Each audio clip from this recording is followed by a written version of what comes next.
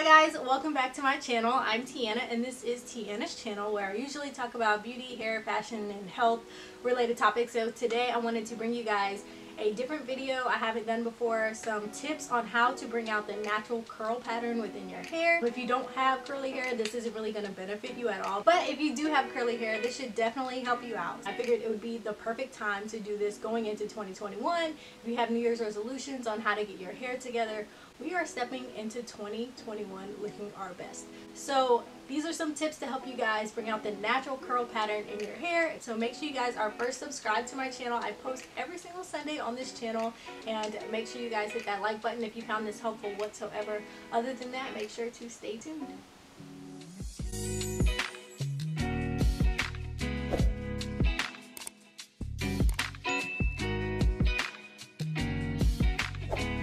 If you have been following my channel for a while, you do know that my hair was damaged and I'm currently in the process of reviving my curls, doing everything I can to get them to pretty much the state that they're in now, but there's still room for improvement. So I just wanted to share with you guys these 10 different things that I've been incorporating into my daily routines in hopes that they will help you. And I have a few videos on some of the tips that I'm going to be sharing with you guys. So if I do have a video on that, I'll be sure to link it up above for you guys. If I can find some photos for you guys, I'll be sure to enter them here somewhere in the video just so you can see what my hair used to look like compared to what it looks like now. So all of these things that I've been doing to my hair are natural, so there's nothing for you to worry about if you're concerned about damaging your hair even more or anything like that. You do not have to worry. These are 10 safe tips for you to be able to take care of your hair and your curls. So let's go ahead and get started. So while I do have 10 different things on this list, it's not just one thing in particular that will get your hair back to the curliest state possible. So you want to make sure to do at least most of these if you can, if not all 10.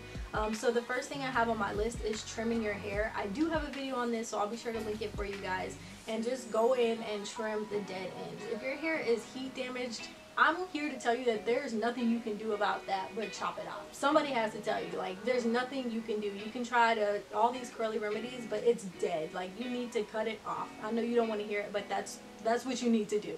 Just cut it off. It sucks in the beginning. Your hair might be a lot shorter, um, but just go in curl by curl and cut it off. And that's exactly what I did in my video. It sucks in the beginning, but your hair will grow back. So if you want long curly hair, um, make sure you're trimming your hair regularly. And along with the trimming, you need to make sure that you're continuously dusting your hair. And that's basically just going in and um, shaping up your hair, getting rid of like the single strand knots in your hair. I know I have a lot of those, so Dusting is key. You want to get rid of the single strand knots that are at the end of your hair.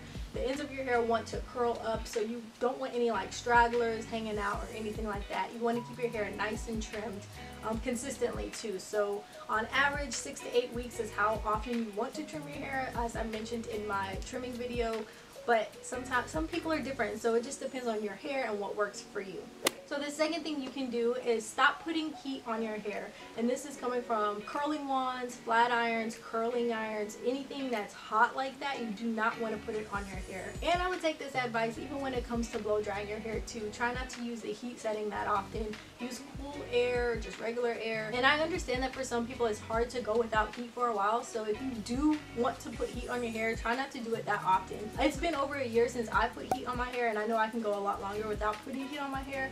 I'm actually starting to like the way my hair looks curly so um, I feel no reason to put heat on my hair, but I know some people just have to do it. So if you do it, use a heat protectant spray. You don't want to damage the curl pattern at all. So do what you can to protect your natural hair. So the third thing you can do is stay away from chemically treating your hair. And this includes relaxing your hair, color treating your hair, whenever you put chemicals on your hair like that, it can elongate the strand and relax the strand. And if you want curlier hair, this is the opposite of what you want to do to your hair strand. So make sure you're staying away from any chemicals or any treatments that have a relaxing effect on your hair. So the fourth thing you can do is bond building treatments. And I love bond building treatments so much. And if you look at my channel, you'll see previous videos of mine where I've posted using bond building treatments. Bond building treatments is a natural way to bring back the curl pattern within your hair, your natural curl pattern. This is not creating a curl pattern whatsoever. And it's also not a chemical, harsh chemical for your hair. You apply it with your hands. There's two brands that I personally like, and that's Olaplex and that's Fanola. They're both great products different price points, but there are two products that I can recommend to you for using. I do have a coupon code for Fanola if you guys want to try that. However, I'm more partial to Olaplex and I'm not going to steer you wrong. Yes, I do make a small commission off of Fanola purchases. However, I like Olaplex better and I would never lie to you guys just to make a coin. So that's just my opinion on the two products. I love Olaplex. Fanola does work really well also. But bond building is a great treatment to naturally bring the curls back in your hair. So the fifth thing you can do when your hair is damp or drying, get a diffuser and just do this upward motion of drying your hair. Or you can take your own hands and just crunch it. Do this crunching motion, this upward motion for your hair. This will create more volume and bring out the natural curl pattern in your hair as opposed to letting it air dry. When you're letting your hair air dry, the water is coming down the strands of hair and it's just bringing it down. And the point is to bring it up and curly and just have it big and voluminous and just have a more curlier effect. So the sixth thing you can do is maintain your hair at night by putting it in a pineapple. And this will keep you from sleeping on it and flattening out the curl pattern. That way the next day your hair will still be curly. So by doing this you'll spend less time trying to revive your curls because you've already preserved the curl pattern from the day before so the seventh thing you can do is use wide tooth combs or finger detangle your hair. I'm not sure if anyone has explained why using wide tooth combs or finger detangling is a better option and it's because it creates larger groups of defined curls as opposed to using fine tooth combs or brushes. Sometimes when you brush your hair, especially when it's kind of damp, it just creates this flat effect on your hair and you want to give your hair a head start with curling by giving it room to curl. So finger detangling gives it plenty of room between strands and so do wide tooth combs So the eighth thing you can do is when your hair is damp and has the product in it, start finger coiling your hair. And this is something that you will do all around your head. And when your hair starts to dry, it will form the perfect little ringlet that you formed with your finger. I do want to make a finger coiling video in the future, so make sure you guys look out for that. So the ninth thing you can do is use curl defining creams curl defining creams. This is not a leave-in conditioner. It's not hot oil treatment. It's curl defining creams. A lot of people wonder why this product isn't working how they think it should and that's because it might not be a curl defining cream. Curl defining creams will bring out the curl definition in your hair and that's exactly what you want, especially whenever you're trying to bring out your natural curl pattern. I've also recommended a few in previous videos. The last thing you can do, and definitely not the least, is deep condition your hair. And this is something you might want to do weekly.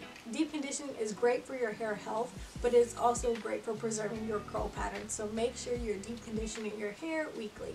Alright, so those are 10 safe tips you can do to bring out your natural curl pattern. So let me know what you guys think in the comments below. I love hearing from you guys. Before you go, make sure to subscribe to my channel. I post every single Sunday. So I will see you guys right here next week.